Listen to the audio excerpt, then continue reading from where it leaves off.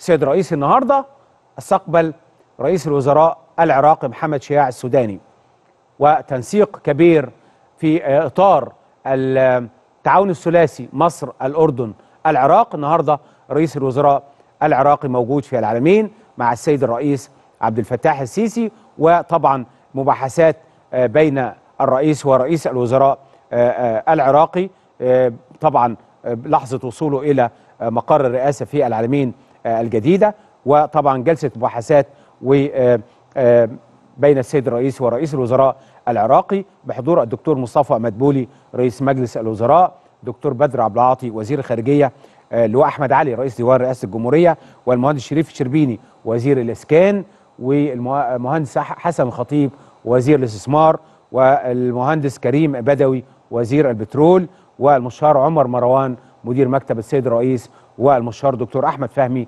المتحدث باسم الرئاسة الوفد الموجود مع السيد الرئيس عبد الفتاح السيسي في طبعا هذا اللقاء مع السيد محمد شياع السوداني رئيس الوزراء العراقي. وطبعا هناك ترتيب وهناك تنسيق كبير جدا بين مصر والعراق بالاضافه إلى الأردن. وطبعا التحديات اللي موجودة في المنطقة. وطبعا حرص الدولة المصرية على وحدة وسلامة أراضي العراق الشقيق. واستقلال العراق ووحدة أراضيه تأكيد من جانب السيد الرئيس النهارده وده تأكيد مصري مستمر بالنسبة لينا العراق دولة شقيقة وشعب شقيق وعلاقات ممتدة بين البلدين الشقيقين وتنسيق كبير جدا في كل المستويات على أعلى مستويات بين مصر والعراق سواء على المستوى الثنائي أو على مستوى آلية التعاون الثلاثي بالإضافة إلى المملكة الأردنية الهاشمية. نتكلم حتى على خط الربط والتجارة العربي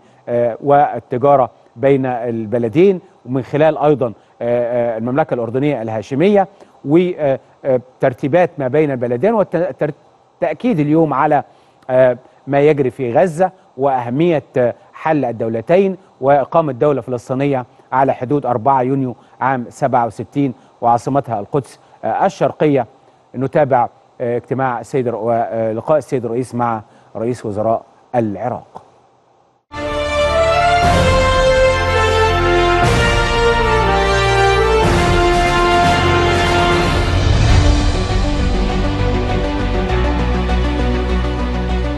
استقبل السيد الرئيس عبد الفتاح السيسي رئيس الوزراء العراقي محمد شياع السوداني الذي يقوم بزيارة رسمية لمصر على رأس وفد حكومي عراقي رفيع المستوى وذلك بحضور الدكتور مصطفى مدبولي رئيس مجلس الوزراء وعدد من السادة الوزراء. وأوضح المتحدث الرسمي باسم رئاسة الجمهورية أن اللقاء تضمن الإعراب عن الارتياح للمستوى المتميز الذي وصلت إليه العلاقات بين الدولتين التي تستند إلى رصيد تاريخي كبير من الأخوة الصادقة والدعم المتبادل بين البلدين والشعبين الشقيقين. وقد حرص السيد الرئيس في هذا الإطار على تأكيد دعم مصر الكامل لوحدة العراق وسيادته وسلامة أراضيه كذا دعمها لجهود تحقيق الاستقرار والأمن والتنمية به وتعزيز الروابط بينه وبين محيطه العربي. كما توافق الزعيمان على أن الظروف الراهنة تستوجب تكثيف العمل العربي المشترك على المستويين الثنائي والجماعي منوهين في هذا الصدد إلى آلية التعاون الثلاثي بين مصر والعراق والأردن ومؤكدين مواصلة العمل على إنجاح مشروعاتها وتحقيق أهدافها لتصبح نموذجا للتعاون العربي والتكامل الإقليمي. كما تطرق اللقاء إلى التباحث بشأن التعاون الثنائي القائم بين الدولتين خاصة فيما يتعلق بالجهود الجارية لزيادة الاستثمارات المتبادلة والمشتركة.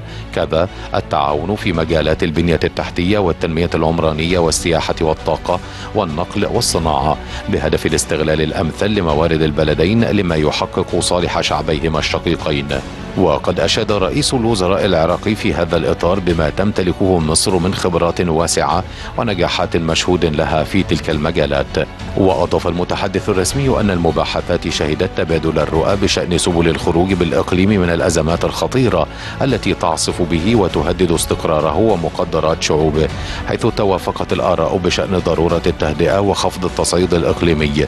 وأكد الزعيمان في هذا السياق ضرورة قيام المجتمع الدولي بالضغط المباشر مكثف لإتمام اتفاق التهدئة ووقف إطلاق النار في غزة مشددين على ضرورة إنهاء المأساة الإنسانية التي يشهدها القطاع والتوقف عن التصعيد الإسرائيلي المستمر بالضفة الغربية مع ضرورة إطلاق مسار سياسي جاد يضمن حصول الشعب الفلسطيني على حقه المشروع والعادل في دولته المستقلة على حدود 1967 وعاصمتها القدس الشرقية.